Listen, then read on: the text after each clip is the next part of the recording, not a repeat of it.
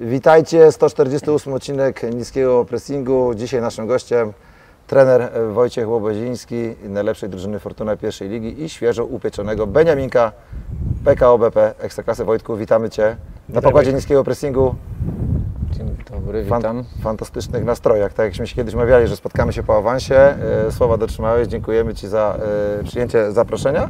No i cóż, e, Startujemy. startujemy Maćku. Tak, Wojtku, mm, jesteś świetnym dowodem, że można łączyć pracę zawodową z nauką. Dzień po zdobyciu, czy wywalczeniu, przypieczętowaniu tego, tej ek- ekstraklasy pojechałeś na egzamin do Białej Podlaskiej. Ciężko było pogodzić y, tę naukę właśnie z czynnym prowadzeniem drużyny, która aspirowała do ekstraklasy?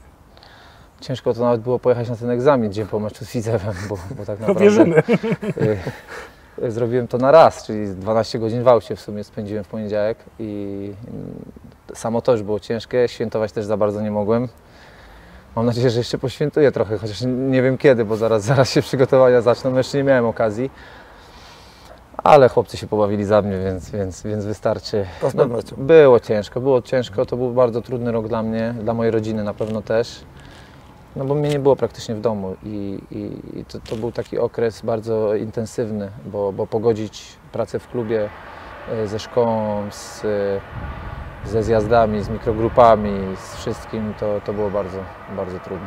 Jak ten kurs wyglądał? Y, To jest tak, trochę, że ten egzamin był łatwiejszy niż cały ten kurs, czy w drugą stronę?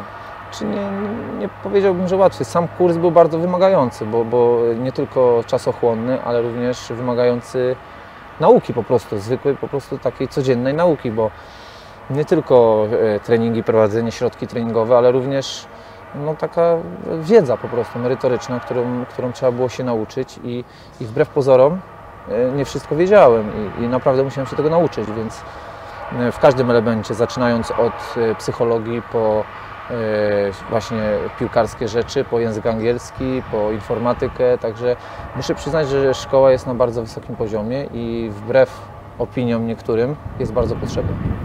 Tak, tu się zgadzamy. Wojtek, e, a 4 lata temu awansowałeś z Miedzią jako piłkarz, teraz awansowałeś jako trener. Który awans lepiej smakuje? Czy można w ogóle porównywać te awanse? No, chyba nie.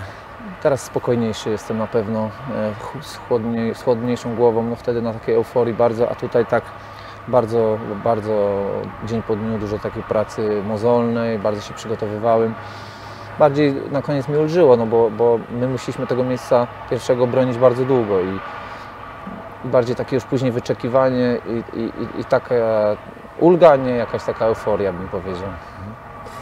Przed sezonem e, właściwie to jest, e, Maciek jest, ty, ty jesteś ojcem e, chrzestnym. e, Hasła, hasła projekt Łobo, projekt tak? Łobo. Ono się tak fajnie w mediach przyjęło. To tak lekko się, jak Cię nikt nie chwali, to sami się pochwalimy. Udało się nam. Te hasło projekt Łobo się przyjęło. Wojtek, czy Ty miałeś, tak szczerze, bo to, to, jest, bo, bo, to już jest dobry czas. Czy Ty miałeś obawy? Pamiętam tą decyzję Andrzeja Dedeły, gdy, gdy Ci powierzył zespół. I tak wszyscy, tak z jednej strony to się wszyscy super, że wszyscy się cieszyli, z kim nie rozmawiałem, że, że Wojtek na to zasłużył i tak dalej, i tak dalej, ale z drugiej strony też było chyba też było sporo obaw, no bo to y, młody szkoleniowiec, pierwsza taka poważna praca i jak to będzie wyglądało? Ty miałeś obawy? Myśl, myślałeś, że aż tak wypali? No nie, oczywiście, że do końca nie wiedziałem.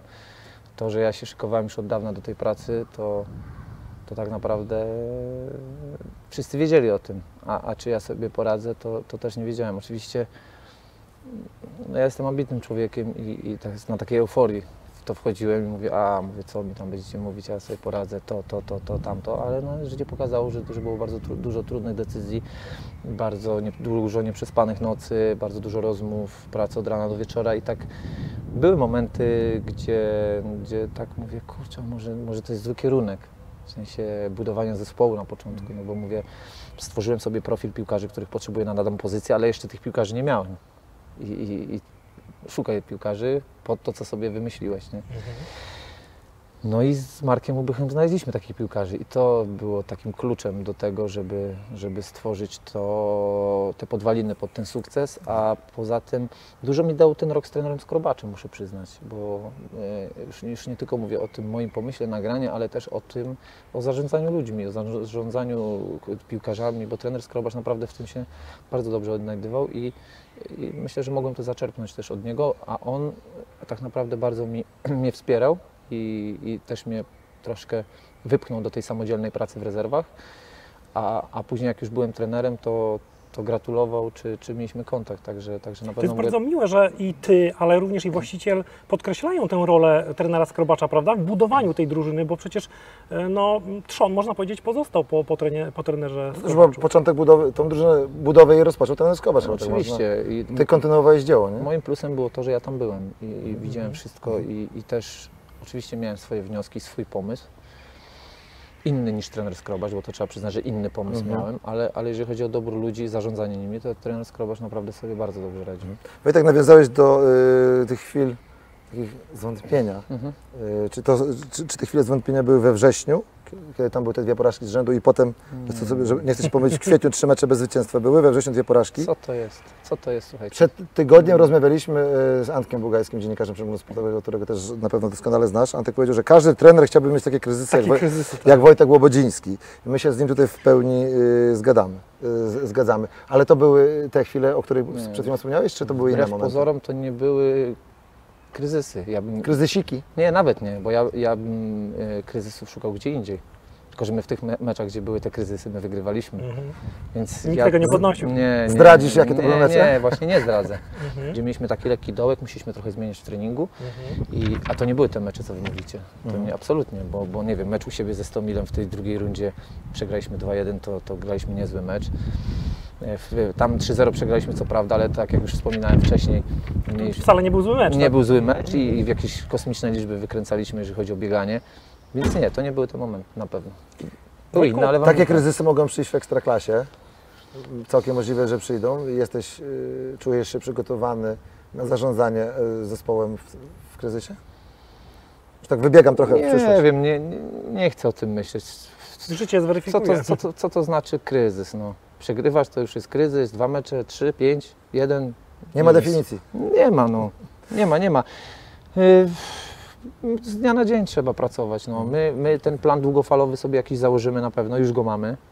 To jest plus tego, że wywalczyliśmy ten awans wcześniej i ten plan sobie już układamy od miesiąca tak naprawdę. No. Mhm.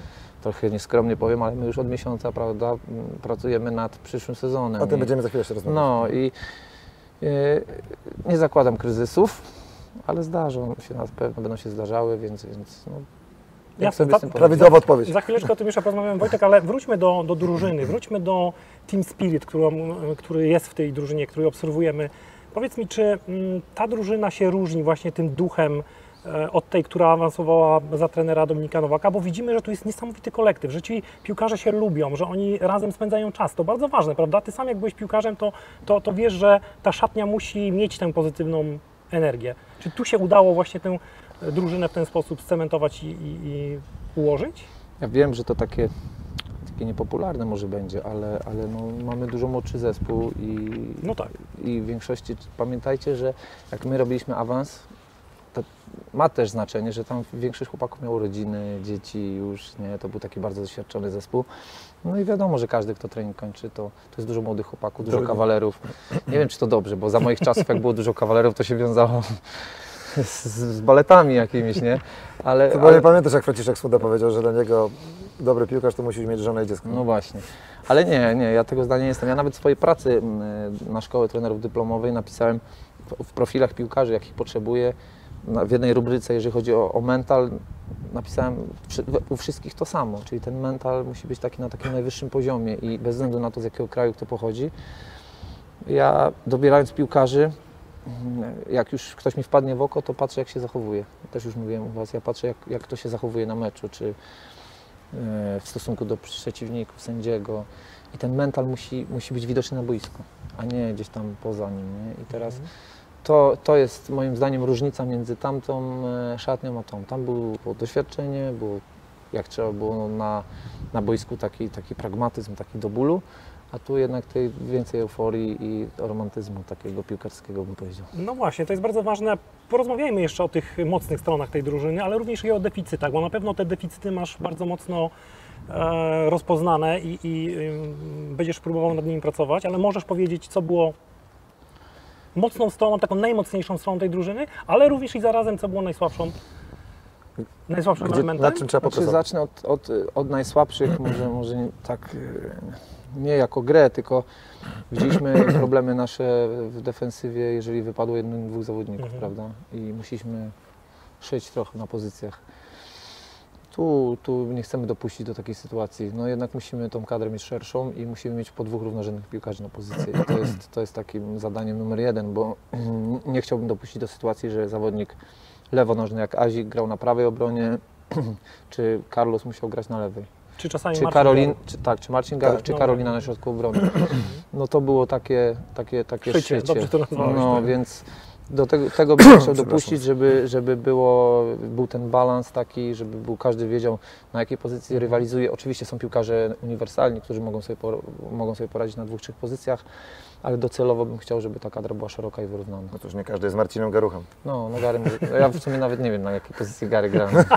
Wszędzie. On też. On też nie wie. No, wszędzie A Gary. najmocniejszy punkt tej drużyny? Jeżeli miałbyś zaakcentować takim jednym zdaniem? Jakość, quality. Mhm. To jest. Co tu dużo mówić? Jest taki modny termin zbalansowanie. Y, Ta drużyna jest zbalansowana? No chyba tak. No, na, na ten po, poziom pierwszoligowy myślę, że tak. No, pokazaliśmy to, ale, ale czy to wystarczy na ekstraklasę, to, to nie wiem, ale, ale no, jakość, jakość, jeszcze raz jakość. Wojtek, wywołałeś y, kolejne pytanie y, co do tej ekstraklasy. Y, To co Maciek mówił, razem tu fajnie opowiedzieliście, team spirit, y, ten mental, y, y, te argumenty czysto sportowe, ta jakość była widoczna. Kto oglądał mecze Miedzi, ten wie. Natomiast pytanie, czy, ta, czy tej jakości wystarczy na ekstraklasę, tak czy nie? Zdania są podzielone. Jedni mówią, że potrzebna jest naprawdę spora rewolucja, jedni twierdzą, że wcale tej re- rewolucji y, nie potrzeba. Y, My zakładamy jednak, że ta drużyna, już chyba troszkę, troszkę odpowiedziałeś na to pytanie, że ta drużyna potrzebuje wzmocnień, żeby, że- że- żeby tą kadrę po, poszerzyć. I nie wymagamy oczywiście Ciebie konkretnych nazwisk, bo to jest niemożliwe, ale mniej więcej na jakie pozycje? O obronie już powiedziałeś. O jest. Nie, no, nie, nie dowiecie się ode mnie nic, nic tutaj specjalnego, no, Mhm. no bo, bo to, to, to trwa, to proces trwa. No. Trochę jeszcze pamiętajcie, że jesteśmy w trakcie sezonu.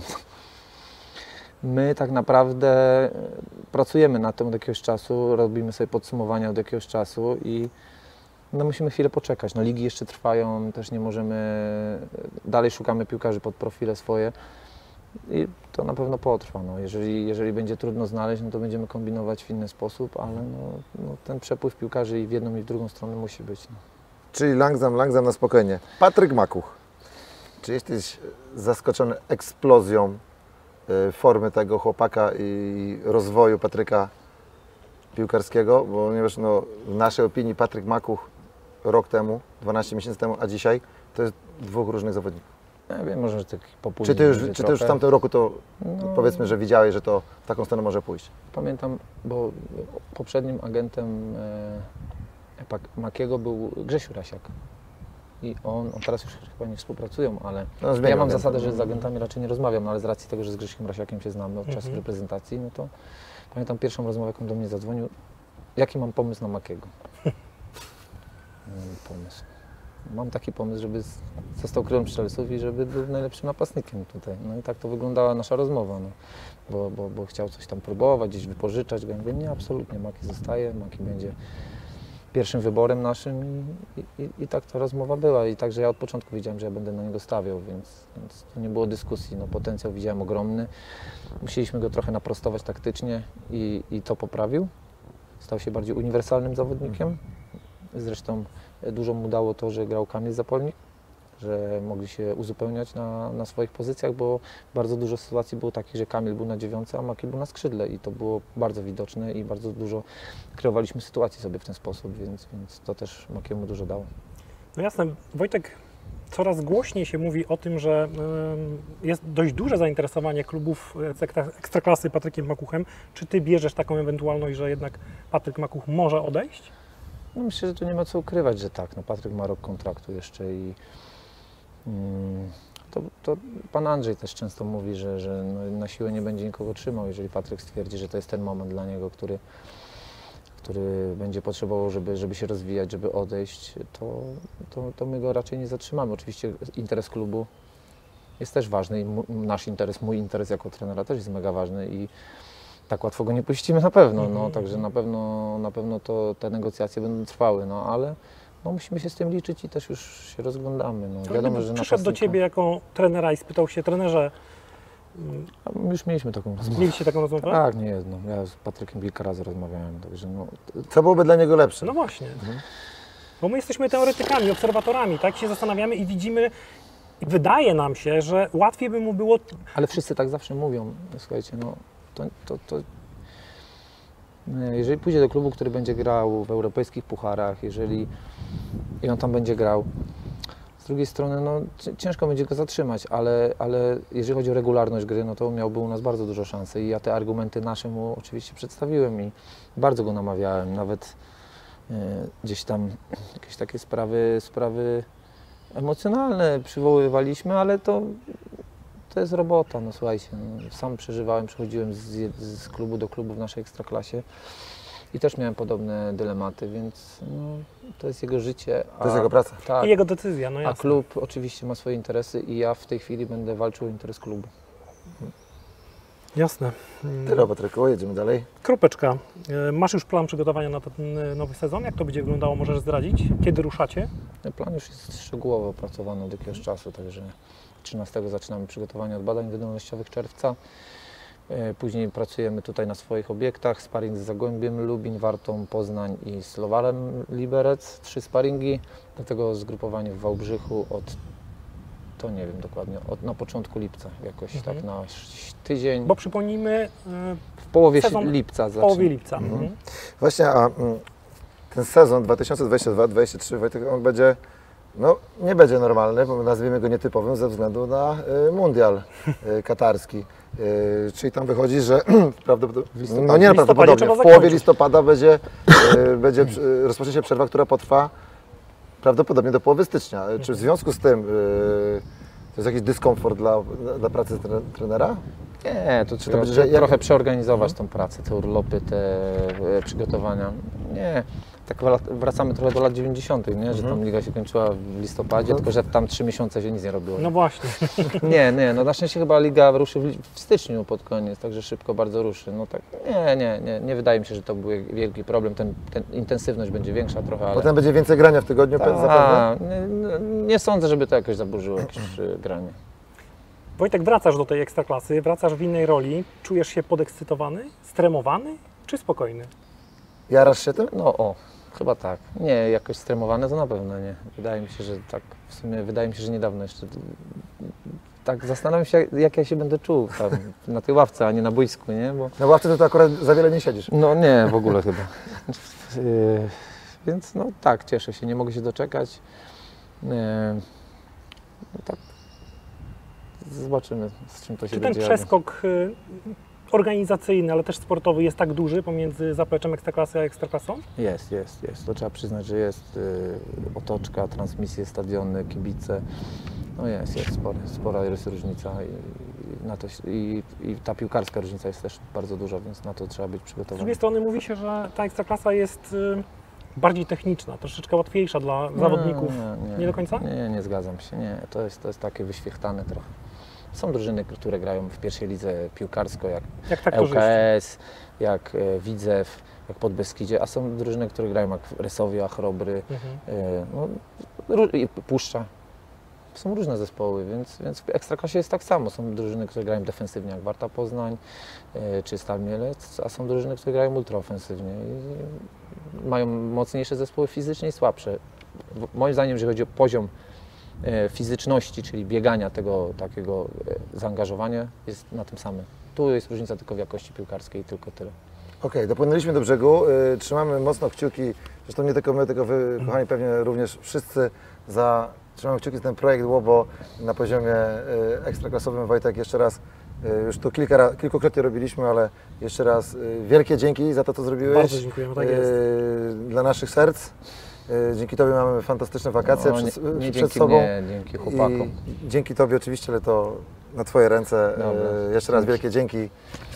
Dziękujemy. Dzięki. Trener ekstraklasowej Miedzi Legnica Wojtek Łobodziński był, chciałem powiedzieć, siedział na kanapie niskiego pressingu, ale siedział na, Niewygodnych fotelach. siedział na niewygodnym Krześle. krzeseł- krzesełku. Nie chciał usiąść na ławce rezerwowych, tak jak widzicie na meczach, nigdy nie siada, także dzisiaj jest konsekwentny, nie dał się namówić. E, To tyle. Hej Miedź! Hej mieć.